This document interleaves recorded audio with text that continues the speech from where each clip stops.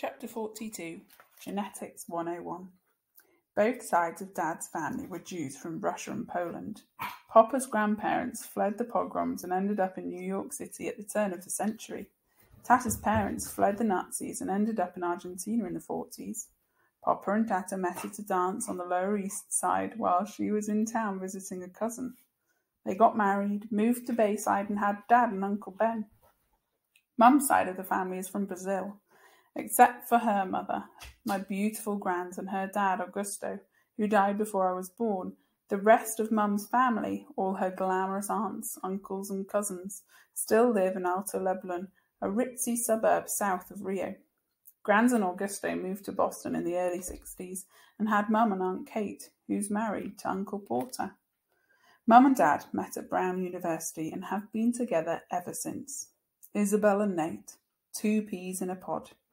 They moved to New York right after college, had me a few years later, then moved to a brick townhouse in North River Heights, a hippie stroller capital of upper, upper Manhattan, when I was about a year old.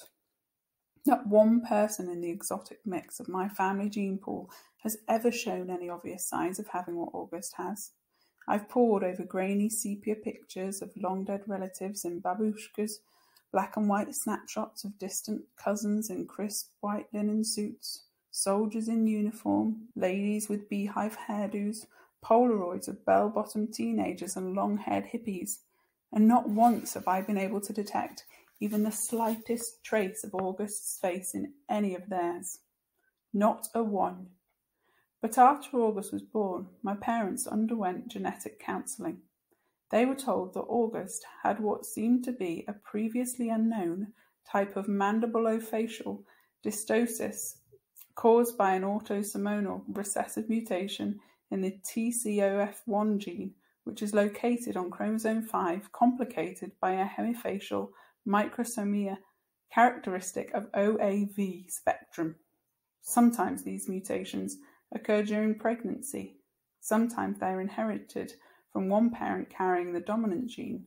Sometimes they're caused by an infection of many genes, possibly in combination with environmental factors. This is called multifactorial inheritance. In August's case, the doctors were able to identify one of the single nucleotide deletion mutations that made war on his face. The weird thing is, though, you never know you never know it from looking at them. Both my parents carrying that mutant gene. And I carry it too.